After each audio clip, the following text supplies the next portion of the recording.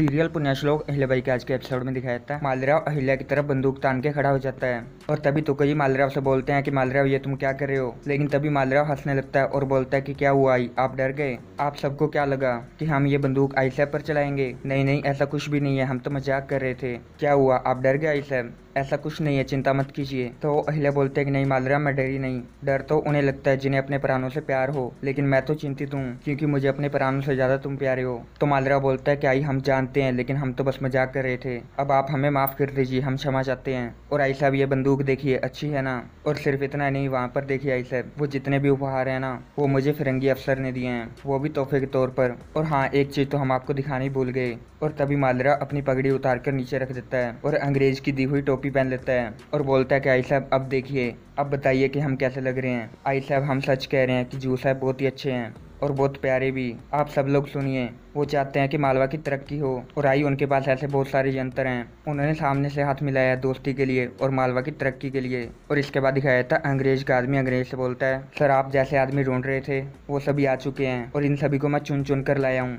और ये सभी अपनी वस्तुएँ आपको बेचने के लिए तैयार हैं। और वो भी बिल्कुल कम दामों पर। तो अंग्रेज़ बोलता है कि शाबाश, बहुत बढ़िया।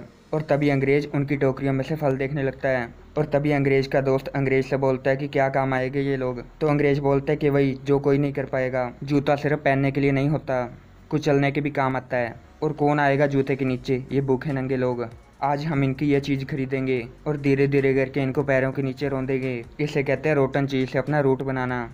और इसके बाद दिखाया था मालराव अहिल्या से बोलते हैं कि क्या हुआ? आपको अच्छा नहीं लगा? बताइए ना, हम कैसे लग रहे हैं इस वेशभूषा में? आप सब लोग सोचिए कि ये आधुनिक बंदूक देखकर आप सबका ये हाल है। तो जब दुश्मन इसे देखेगा तो उसका क्या हाल होगा? खून और पसीना दोनों एक रंग का हो जाएगा। क्यों आई? सही कह रहे हैं ना हम? और तभी मालरा अहिल्या को बंदूक देता है। लेकिन अहिल्या उस बंदूक को नीचे फेंक देती है और मालराव के सर से टोपी उतार कर नीचे फेंक देती है। तो मालरा बोलता है कि ऐसा क्या कर दिया हमने जो आप इतनी क्रोधित हो रही हैं? और हम तो बस मज़ाक कर रहे थे। तो अहिल्या बोलते हैं कि तुम एक फिरंगी के साथ दोस्ती करके आए हो। वो भी बिना बताए, क्या ये मज़ाक है? उस फिरंगी की दी हुई बंदूक तुमने अपनी आई पर तान दी, और ये तुम्हें मज़ाक लग रहा है? और तभी अहिल्या मालरा की पगड़ी उठाती है और बोलते हैं कि तुम उस फिरंगी के साथ दोस्ती करके आए हो, जिसकी टोपी ने एक पल में राजकुमार के ताज की जगह ले ली, और तुम कह रहे हो कि ये केवल मज़ाक है? तो मालरा बोलता है कि हाँ बस ये एक मज़ाक था। लेकिन इतना भावुक होने की क्या ज़रूरत है? आप हमें एक बात बताइए कि ये जो टोपी है, ये भी तो वही काम करी है ना जो हमारा ताज करता है। और देखिए कितनी हल्की है। तो अहिल्या बोलते कि मालरा, इस विषय की गंभीरता को तुम्हें समझना होगा। इस वक्त इस टोपी से ज़्यादा तुम्हारी बातें हल्की है। राजकुमार होने और अपने ताज के महत्व को तुम समझ नहीं पा रहे हो। तो तुम्हारा हृदय हल्का है। तो मालरा बोलते हैं, क्या इसे भावुकता कहते हैं? और जो हम कह रहे हैं ना, इसे आधुनिकता की शुरुआत कहते हैं। तो अहिल्या बोलते हैं कि नहीं मालरा ये आधुनिकता नहीं बल्कि अधीनता है और ये अधीनता की शुरुआत है। अपने ताज की इस फिरंगी टोपी से तुलना करना मतलब अपने पूर्वजों की धरोहर का मज़ाक उड़ाना है, और ये करने का तुम्हें कोई अधिकार नहीं है। आज उस फिरंगी ने तुम्हें ये वस्तुएँ भेंट की है तो वो कल को तुमसे ज़रूर और कुछ चाहेगा, क्योंकि यहाँ पर बिना स्वार्थ के कोई किसी को कुछ नहीं देता। तो मालरा बोलता है कि कुछ नहीं, आई साहब, उसके पास बहुत कुछ है। शायद इतना तो हमारे पास भी नहीं है, और हमें एक बात बताइए कि ऐसा क्या है हमारे पास जिनकी लालच उन लोगों को होगी? तो अहिल्या बोलते कि तुम्हारा गर्व, तुम्हारे संस्कार, और तुम्हारा आत्म सम्मान वो इन वस्तुओं का लोभ देकर ये सब रोन देगा, और फिर देखना, तुम एक दिन अपने लक्ष्य से भटक जाओगे। तो मालरा बोलता है, क्या ही हमें समझ भी नहीं आ रहा कि आप हमारी बात समझ क्यों नहीं रही हैं? हम जो कह रहे हैं वो आधुनिकरण है, और आप जो कह रहे हैं वो संस्कारों की बात है। आई साहब, उन लोगों को हमारी भाषा भी ठीक से बोलनी नहीं आती तो वो हमसे क्या लेंगे?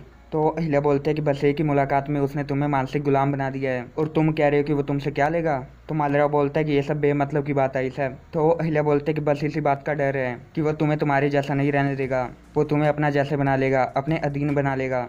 और इसी बात का डर है मुझे। और इसके बाद दिखाया था वो अंग्रेज़ फलों में से सभी गले फल अलग कर देता है। तो अंग्रेज़ का दोस्त बोलता है कि आप क्या कर रहे हो? तो अंग्रेज़ बोलता है कि सेपरेशन पहले पहचानो और फिर बांटो। देखो, ये एक अच्छे फल है होलकर फैमिली जैसे। और दूसरा सड़ा हुआ फ्रूट जो ये बाहर बैठे गंदे गरीब लोग जैसे हैं। और इसके बाद दिखाया था अहिल्या मालराव को उसकी पगड़ी पहनाती है। और बोलते है कि, देखो मालरा, मैं तुम्हारी आई हूँ। अगर मैं तुम्हें कुछ समझा रही हूँ तो उसका कोई मतलब तो होगा ना? और बेटा, ये फिरंगी लोग भरोसा करने के काबिल नहीं है। तो मालरा बोलता है कि हाँ आप बिल्कुल सही कह रहे हैं। लेकिन क्या आपने कभी किसी फिरंगी से बात की है? किसी फिरंगी से मुलाकात हुई है? तो अहिल्या बोलते कि नहीं हुई है, लेकिन मैंने उनके बारे में जितना सुना है और समझा है। तो मालरा बोलता है कि आप कब से लोगों की सुनी सुनाई बातों पर विश्वास करने लगी। आप ही हमें बचपन में बताती थी ना कि लोगों से मिलो, उनसे बात करो और फिर अपने मन में विचारधारा बनाओ। तो अब क्या हुआ? तो अहिल्या बोलते कि मैंने तुम्हें बचपन में एक और बात कही थी कि तुम्हें अपने बाबा साहब और अपनी आई साहब की बात पर विश्वास रखना चाहिए। तो मालरा बोलता है क्या जब हम बाबा साहब की बात पर विश्वास करते थे तो आपको गुस्सा क्यों आता था? तो अहिल्या बोलते हैं कि क्योंकि तुम्हें गलत फहमी हुई थी मालराव तो मालरा बोलता है कि लेकिन अभी तो हमें कोई गलत फहमी नहीं है ना। हम खुद यू साहब से मिलकर आए हैं। आप एक बार उनसे मिलती तो आपको पता चलता है कि यू साहब कैसे है और उनका स्वभाव कैसा है। और आप सब लोग सुन लीजिए कि दोस्ती का हाथ उन्होंने आगे बढ़ाया था, हमने नहीं। और ये निर्णय उन्होंने पूरा हम पर छोड़ दिया था कि हमें दोस्ती करनी है या नहीं। लेकिन उस विषय पर दो कदम आगे चलकर हमने निर्णय लिया कि हम दोस्ती करेंगे। और ये बात कहने में हमें ज़रा सा भी संकोच नहीं है। लेकिन आई हमें लगा था कि आप खुश होंगी, क्योंकि हम खुश हैं। तो अहिल्या बोलते कि मैं ज़रूर खुश होती, अगर ये तुम्हारी खुशी हमेशा के लिए होती। मालरा बचपन में तुम अंगारों को देखकर खुश हुए थे, मैं तब भी खुश नहीं हुई थी, क्योंकि मुझे पता था कि तुम उन अंगारों को पकड़ने की कोशिश में जल जाओगे, और वही हुआ था। मैं तुम्हें रोकती, इससे पहले तुम्हारी खिलखिलाहट चीख में बदल चुकी थी, और यकीन मानो उस दिन मैं तुमसे ज़्यादा रोई थी।